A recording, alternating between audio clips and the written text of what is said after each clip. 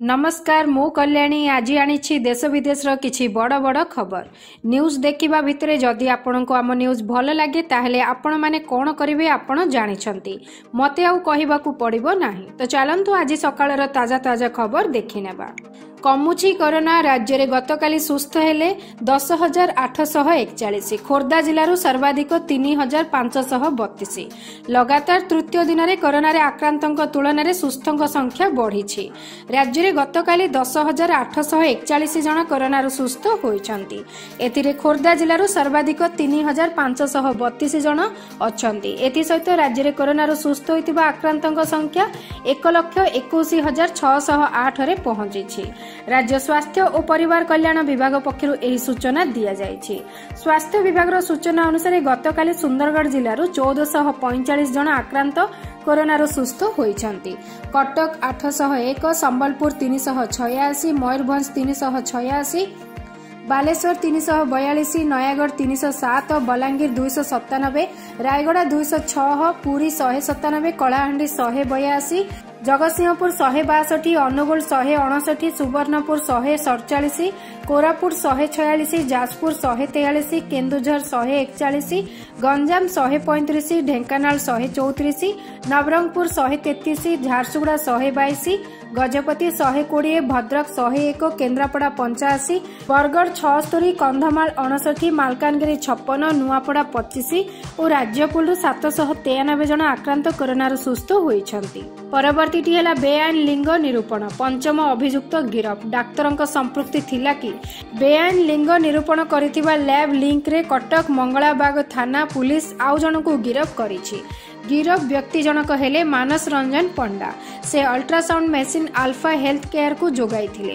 ଗିରଫ ଅଭିଯୁକ୍ତଙ୍କ ଘର ଯାଜପୁର ଅଞ୍ଚଳରେ ହୋଇଥିବା ବେଳେ ସେ କଟକରେ ରହି ଏହି ମେସିନ୍ ଦଲାଲି କରୁଥିଲା। ତେବେ ବର୍ତ୍ତମାନ ଗିରଫଦାରୀ ସଂଖ୍ୟା ପାଞ୍ଚରେ ପହଞ୍ଚିଛି। ବର୍ତ୍ତମାନ ସୁଦ୍ଧା କୌଣସି ଡାକ୍ତରଙ୍କ ସମ୍ପୃକ୍ତି ପ୍ରମାଣ ମିଳିନାହିଁ। ମଙ୍ଗଳାବାଗ କାଠଗୋଲା ସାହିରେ ଜଣେ ଆଇନଜୀବୀ ସୌମ୍ୟରଞ୍ଜନ ମିଶ୍ରଙ୍କ ଘର ଭଡ଼ା ନେଇ ତିଗିରିଆ ପାଞ୍ଚ ଗାଁର ପ୍ରସନ୍ନ ଗଲା ଛଅ ମାସ ହେବ ଆଲଫା ହେଲ୍ଥ କେୟାର ଖୋଲିଥିଲା। ଘର ଭଡ଼ା ବାବଦରେ ସେ ଅଠର ହଜାର ଟଙ୍କା ଦେଉଥିଲା।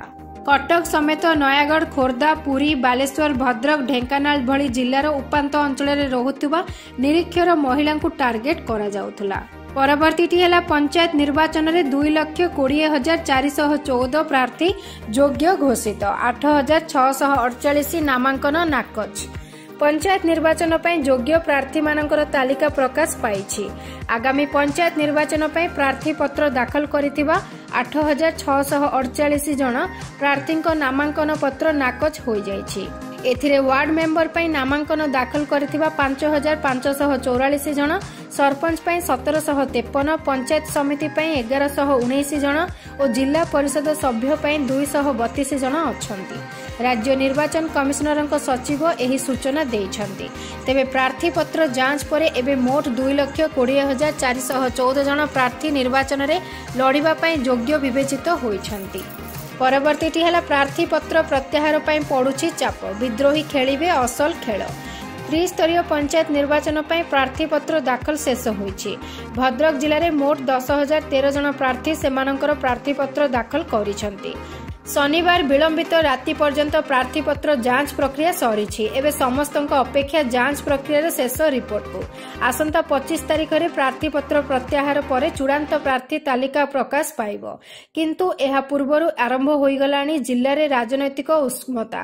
ଗାଁ ଗାଁରେ ଭୋଜି ଭାତର ଆସର ଆରମ୍ଭ ହୋଇଯାଇଛି। ନାଲି ପାଣିର ମଜା ଉଠାଇଲେଣି ଯୁବଗୋଷ୍ଠୀ। କିଛି ଅସନ୍ତୁଷ୍ଟ ଓ ଲୋଭାଗ୍ରସ୍ତ ନେତାଙ୍କୁ ଏବେ ନିଜ ନିଜ ଦଳକୁ ଆଣିବା ପାଇଁ ମନାଇବା ପ୍ରକ୍ରିୟା ଆରମ୍ଭ ହୋଇଛି। ବିଶେଷ କରି ଦଳ ଡିଆଁ ନେତାଙ୍କ ଉପରେ ସବୁ ଦଳର ନଜର ରହିଛି। ଦଳ ଡିଆଁ ନେତା କେତେବେଳେ କ'ଣ କରିବେ ସେମାନଙ୍କ ଉପରେ ମଙ୍ଗୁଆଳ ନେତାଙ୍କର ଭରସା ପାଉନାହିଁ। ଏହି ନେତା ବର୍ଷା ଯୁଆଡେ ଛତା ସିଆଡେ ଦେଖାଇବା ଅବସ୍ଥାରେ ରହିଛନ୍ତି। ପାନରୁ ଚୂନ ଖସିଗଲା ବେଳକୁ ଦଳୀୟ ମଙ୍ଗୁଆଳ ନେତାଙ୍କୁ ଦଳ ଛାଡି ଅନ୍ୟ ଦଳରେ ମିଶିଯିବାକୁ ଧମକ ଦେଉଛନ୍ତି। ପରବର୍ତ୍ତୀଟି ହେଲା କାଳବୈଶାଖୀ ପାଇଁ ୟେଲୋ ୱାର୍ଣ୍ଣିଂ ଜାରି। ଆସନ୍ତା ଚବିଶ ଘଣ୍ଟା ମଧ୍ୟରେ ରାଜ୍ୟର ଅନେକ ଜିଲ୍ଲାରେ କାଳବୈଶାଖୀ ସମ୍ଭାବନା ଥିବା ନେଇ ଭୁବନେଶ୍ୱର ଆଞ୍ଚଳିକ ପାଣିପାଗ କେନ୍ଦ୍ର ପକ୍ଷରୁ ପ୍ରକାଶ। ଏହି ଜିଲ୍ଲାଗୁଡ଼ିକ ମଧ୍ୟରେ ବାଲେଶ୍ୱର ଭଦ୍ରକ ଯାଜପୁର କେନ୍ଦ୍ରାପଡ଼ା କଟକ ଜଗତସିଂହପୁର କେନ୍ଦୁଝର ମୟୂରଭଞ୍ଜ ଓ ଢେଙ୍କାନାଳ ରହିଛି। ଏସବୁ ଜିଲ୍ଲାର ଗୋଟିଏ ଦୁଇଟି ସ୍ଥାନରେ କାଳବୈଶାଖୀ ଓ ବଜ୍ରପାତ ଆଶଙ୍କା ଥିବାରୁ ୟେଲୋ ୱାର୍ଣ୍ଣିଂ ଜାରି କରାଯାଇଛି। ଏଯାବତ୍ ସୁବର୍ଣ୍ଣପୁରରେ ତିରିଶ ଦଶମିକ ଦୁଇ ଡିଗ୍ରୀ ସେଲସିୟସ୍ ସର୍ବାଧିକ ତାପମାତ୍ରା ରହିଥିଲା ଥିବା ବେଳେ ଫୁଲବାଣୀରେ ତେର ଦଶମିକ ଶୂନ ଡିଗ୍ରୀ ସେଲସିୟସ୍ ସର୍ବନିମ୍ନ ତାପମାତ୍ରା ରହିଛି। ପରବର୍ତ୍ତୀଟି ହେଲା ଆଇପିଏଲ୍ ନିଲାମରେ ଓଡ଼ିଶାରୁ ପାଞ୍ଚ।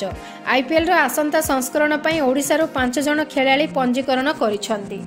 ବିସିସିଆଇ ପକ୍ଷରୁ ଜାରି ହୋଇଥିବା ବାରଶହ ଚଉଦ ଜଣିଆ ତାଲିକାରେ ଓଡ଼ିଶାରୁ ଅଭିଷେକ ରାଉତ ଶୁଭ୍ରାଂଶୁ ସେନାପତି ରାଜେଶ ମହାନ୍ତି ବିକାଶ ରାଉତ ଜୟନ୍ତ ବେହେରାଙ୍କ ନାମ ସ୍ଥାନ ପାଇଥିବା ଜଣାପଡ଼ିଛି। ଆଇପିଏଲ୍ ଖେଳାଳି ନିଲାମ ପାଇଁ ଓଡ଼ିଶାର ବାଇଶ ଜଣ ଖେଳାଳିଙ୍କୁ ପଞ୍ଜୀକରଣ ପାଇଁ ଅନ୍ଲାଇନ୍ ଲିଙ୍କ ଦିଆଯାଇଥିଲେ ମଧ୍ୟ କେବଳ ଉପରୋକ୍ତ ପାଞ୍ଚ ଜଣ ନିର୍ଦ୍ଧାରିତ ସମୟ ମଧ୍ୟରେ ସେମାନଙ୍କ ନାମ ପଞ୍ଜୀକୃତ କରିପାରିଥିଲେ। ପରବର୍ତ୍ତୀଟି ହେଲା ନେତାଜୀଙ୍କ ଶହେ ପଚିଶତମ ଜୟନ୍ତୀରେ ଶ୍ରଦ୍ଧାଞ୍ଜଳି। ତାଙ୍କ ତ୍ୟାଗ ସବୁ ଭାରତୀୟଙ୍କୁ ଚିରକାଳ ଅନୁପ୍ରାଣିତ କରିବ ନେତାଜୀ ସୁଭାଷ ଚନ୍ଦ୍ର ବୋଷଙ୍କ ଶହେ ପଚିଶତମ ଜୟନ୍ତୀ ଅବସରରେ ଗତକାଲି ରାଷ୍ଟ୍ରପତି ରାମନାଥ କୋବିନ୍ଦ ପ୍ରଧାନମନ୍ତ୍ରୀ ନରେନ୍ଦ୍ର ମୋଦି ଏବଂ ଅନ୍ୟ ବରିଷ୍ଠ ମନ୍ତ୍ରୀମାନେ ଶ୍ରଦ୍ଧାଞ୍ଜଳି ଅର୍ପଣ କରିଛନ୍ତି। ରାଷ୍ଟ୍ରପତିଙ୍କ କାର୍ଯ୍ୟାଳୟ ଟ୍ୱିଟ୍ କରିଛି ନେତାଜୀ ସୁଭାଷ ଚନ୍ଦ୍ର ବୋଷଙ୍କ ଶହେ ପଚିଶତମ ଜୟନ୍ତୀରେ ଭାରତ ତାଙ୍କ ପ୍ରତି ସକୃତଜ୍ଞ ଶ୍ରଦ୍ଧାଞ୍ଜଳି ଜ୍ଞାପନ କରୁଛି। ରାଷ୍ଟ୍ରପତିଙ୍କ କାର୍ଯ୍ୟାଳୟ ଟ୍ୱିଟ୍ କରିଛି ନେତାଜୀ ସୁଭାଷ ଚନ୍ଦ୍ର ବୋଷଙ୍କ ଶହେ ପଚିଶତମ ଜୟନ୍ତୀରେ ଭାରତ ତାଙ୍କ ପ୍ରତି ସକୃତଜ୍ଞ ଶ୍ରଦ୍ଧାଞ୍ଜଳି ଜ୍ଞାପନ କରୁଛି। ନିଜ ପରିକଳ୍ପିତ ସ୍ୱାଧୀନ ଭାରତ ଲାଗି ଭୀଷଣ ପ୍ରତିବଦ୍ଧତାକୁ ଚରିତାର୍ଥ କରିବାକୁ ସେ ଗ୍ରହଣ କରିଥିବା ଦୁଃସାହସିକ ପଦକ୍ଷେପ ତାଙ୍କୁ ଜାତୀୟ ବ୍ୟକ୍ତିତ୍ୱରେ ପରିଗଣିତ କରିଛି। ତାଙ୍କର ଆଦର୍ଶ ଏବଂ ତ୍ୟାଗ ଚିରକାଳ ପ୍ରତ୍ୟେକ ଭାରତୀୟଙ୍କୁ ଅନୁପ୍ରାଣିତ କରିବ। ପରବର୍ତ୍ତୀଟି ହେଲା ପଞ୍ଚାୟତ ଲଢ଼େଇ ପାଇଁ ନେତା ଏବଂ କର୍ମୀଙ୍କୁ ନବୀନ ଦେଲେ ଗୁରୁମନ୍ତ୍ର। କହିଲେ ବିରୋଧୀଙ୍କ ମିଛ ପ୍ରଚାରର ଜବାବ ଦିଅ। ପଞ୍ଚାୟତ ପାଇଁ ନାମାଙ୍କନ ସରିବା ପରେ ବିଭିନ୍ନ ଦଳ ଏବେ ଭୋଟରଙ୍କ ହୃଦୟ ଜିତିବାକୁ ଗୋଟି ଚାଳନା ଚଳାଇଛନ୍ତି। କିଏ କେମିତି ଏବଂ କେଉଁ ପ୍ରସଙ୍ଗକୁ ନେଇ ଜନତା ଜନାର୍ଦ୍ଦନଙ୍କ ମନ ଜିଣିବ ଏନେଇ ଦଳୀୟ ନେତାମାନେ ରଣନୀତି ପ୍ରସ୍ତୁତ କରୁଛନ୍ତି। ତେବେ ପଞ୍ଚାୟତ ନିର୍ବାଚନ ପାଇଁ ମତଦାନ ପାଖେଇ ଆସୁଥିବା ବେଳେ ସକ୍ରିୟ ହୋଇଛନ୍ତି ରାଜ୍ୟର ସମସ୍ତ ପ୍ରମୁଖ ରାଜନୈତିକ ଦଳ। ଶନିବାର ସାଂସଦ ବିଧାୟକ ଜିଲ୍ଲା ସଭାପତି ଓ ପର୍ଯ୍ୟବେକ୍ଷକମାନଙ୍କୁ ପଞ୍ଚାୟତ ନିର୍ବାଚନ ପାଇଁ ଗୁରୁମନ୍ତ୍ର ଦେଇଥିଲେ ମୁଖ୍ୟମନ୍ତ୍ରୀ ତଥା ବିଜେଡି ସୁପ୍ରିମୋ ନବୀନ ପଟ୍ଟନାୟକ। ଭର୍ଚୁଆଲ ଜରିଆରେ ଉଦ୍ବୋଧନ ଦେଇ ନବୀନ କହିଥିଲେ ବିରୋଧୀଙ୍କ ମିଛ ପ୍ରଚାରର ଜବାବ ଦିଅ। ସରକାରଙ୍କ ସଫଳତାକୁ ଲୋକଙ୍କ ନିକଟରେ ପହଞ୍ଚାଅ। ଏନେଇ ସୂଚନା ଦେଇଛନ୍ତି ବିଜେଡି ନେତା ଅତନୁ ସବ୍ୟସାଚୀ ନାୟକ। ସବୁଠାରୁ ବଡ଼ କଥା ହେଲା ବିଜୁ ସ୍ୱାସ୍ଥ୍ୟ କଲ୍ୟାଣ ଯୋଜନା ବା ସ୍ମାର୍ଟ କାର୍ଡ ଲୋକଙ୍କ ମନରେ ଏକ ନୂଆ ଆଶା ଆଣିଦେଇଛି। କାରଣ ଏହି କଠିନ କୋଭିଡ ମହାମାରୀ ସମୟରେ ମହିଳାମାନଙ୍କୁ ମିଶନ ଶକ୍ତି ମାମାନଙ୍କୁ ପ୍ରାୟ ଦଶ ହଜାର କୋଟି ଟଙ୍କାର ଋଣ ସହାୟତା ବିନା ସୁଧରେ ଆପଣଙ୍କ ବିଜେଡି ସରକାର ଦେଇଛି। ପରବର୍ତ୍ତୀଟି ହେଲା ଦେଶରେ କମୁଛି କରୋନା ଭୟ। ଲଗାତାର ଦ୍ୱିତୀୟ ସପ୍ତାହରେ କମିଲା ଆର୍ ଭ୍ୟାଲ୍ୟୁ দেশে দ্রুতগতিরে বড়ি চালিছি করোনা সংক্রমণ মামলা।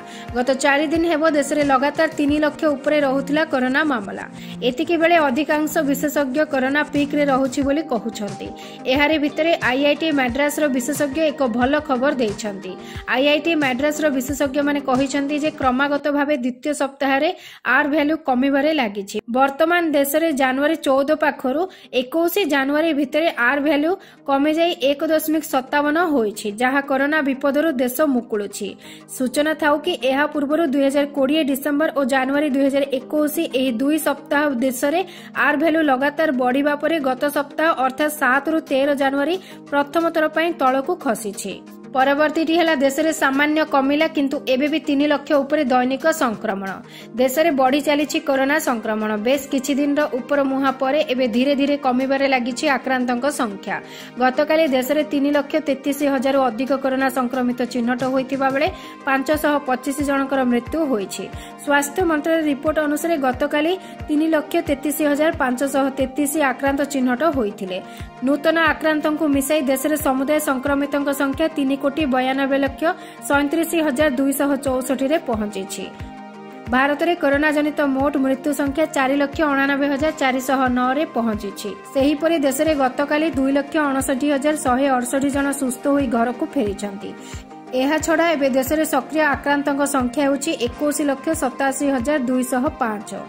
ପରବର୍ତ୍ତୀଟି ହେଲା ପାଣିପାଗ ବିଭାଗ କଲା ସତର୍କ। ଭାରତକୁ ମାଡ଼ି ଆସୁଛି ବିଶାଳକାୟ ଧୂଳି ଝଡ଼। ପାକିସ୍ତାନର କରାଚିରେ ତାଣ୍ଡବ ରଚିବା ପରେ ଏବେ ଭାରତ ମୁହାଁ ହୋଇଛି ଧୂଳି ଝଡ଼। ଭାରତର ଦକ୍ଷିଣ ରାଜସ୍ଥାନ ଓ ଗୁଜରାଟରେ ଏହାର ଗଭୀର ପ୍ରଭାବ ପଡ଼ିବ ବୋଲି ଭାରତୀୟ ପାଣିପାଗ ବିଭାଗ କହିଛି। ଏନେଇ ଲୋକଙ୍କୁ ସତର୍କ ରହିବାକୁ କୁହାଯାଇଛି। ଆଗାମୀ ବାର ଘଣ୍ଟା ପର୍ଯ୍ୟନ୍ତ ଧୂଳିଝଡ଼ର ପ୍ରଭାବ ରହିବାର ସମ୍ଭାବନା ରହିଛି ବୋଲି ପାଣିପାଗ ବିଭାଗ କହିଛି। ଶନିବାର ଅପରାହ୍ନରୁ ସୌରାଷ୍ଟ୍ର ଉପକୂଳରେ ଧୂଳିଝଡ଼ ବଢ଼ିବାରେ ଲାଗିଛି। ଏହାର ପ୍ରଭାବରେ ଦ୍ୱାରକା ଷ୍ଟେସନରେ ଦୃଶ୍ୟମାନତା ଚାରିଶହ ମିଟରକୁ ଖସି ଆସିବା ସହ ପୋରବନ୍ଦରରେ ଦୃଶ୍ୟମାନତା ଏକ କିଲୋମିଟରରୁ କମ୍ ରହିଛି। ପରବର୍ତ୍ତୀଟି ହେଲା ବିମାନ ଚଳାଚଳ ପାଇଁ ଫାଇଭ୍ ଜି ବିପଦ ନାହିଁ। ଆମେରିକା ତୁଳନାରେ ଭାରତରେ ସ୍ଥିତି ଉନ୍ନତ।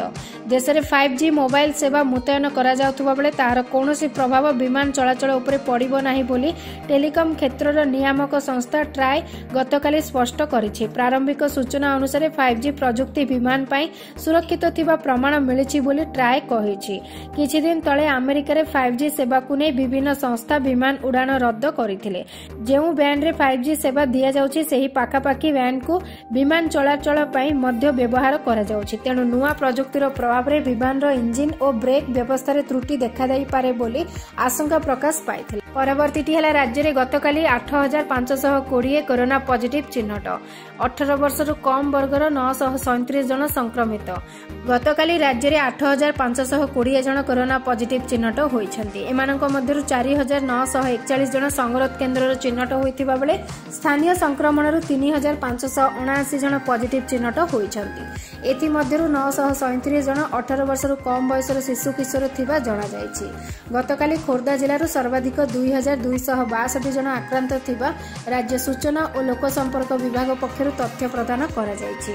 ଗତକାଲି ଅନୁଗୁଳରୁ ଶହେ ବୟାଳିଶ ବାଲେଶ୍ୱର ତିନିଶହ ଛୟାଳିଶ ବରଗଡ଼ ଶହେ ଏକଚାଳିଶ ଭଦ୍ରକ ଶହେ ବାର ବଲାଙ୍ଗୀର ଦୁଇଶହ ସତର ବୌଦ୍ଧ ଛୟାଅଶୀ କଟକ ସାତଶହ ଅଣାଅଶୀ ଦେବଗଡ଼ ପଞ୍ଚସ୍ତରୀ ଢେଙ୍କାନାଳ ନବେ ଗଜପତି ଅଠାନବେ ଗଞ୍ଜାମ ଅଠାଅଶୀ ଜଗତସିଂହପୁର ଶହେ ପଞ୍ଚଷଠି ଯାଜପୁର ଦୁଇଶହ ତେପନ ଝାରସୁଗୁଡ଼ା ଶହେ ଅଠର କଳାହାଣ୍ଡି ଦୁଇଶହ ଛବିଶ କନ୍ଧମାଳ ଶହେ କେନ୍ଦ୍ରାପଡ଼ା ଶହେ ଚଉତିରିଶ କେଉଁଝର ଶହେ ଛବିଶ ଖୋର୍ଦ୍ଧା ଦୁଇ ହଜାର ଦୁଇଶହ ବାଷଠି କୋରାପୁଟ ଶହେ ସତାବନ ମାଲକାନଗିରି ଅଠାବନ ମୟୂରଭଞ୍ଜ ଶହେ ଅଶୀ ନବରଙ୍ଗପୁର ଶହେ ବୟାନବେ ନୟାଗଡ଼ ଦୁଇଶହ ଷୋହଳ ନୂଆପଡ଼ା ଶହେ ସତାନବେ ପୁରୀ ଶହେ ଅଣଚାଶ ରାୟଗଡ଼ା ଶହେ ସତାଅଶୀ ସମ୍ବଲପୁର ଶହେ ସତେଇଶ ସୋନପୁର ଅଣାନବେ ସୁନ୍ଦରଗଡ଼ ନଅଶହ ବତିଶ ଓ ଷ୍ଟେଟପୁଲରୁ ଚାରିଶହ ଛଅଷଠି ଜଣ କରୋନା ପଜିଟିଭ ଚିହ୍ନଟ ହୋଇଛନ୍ତି।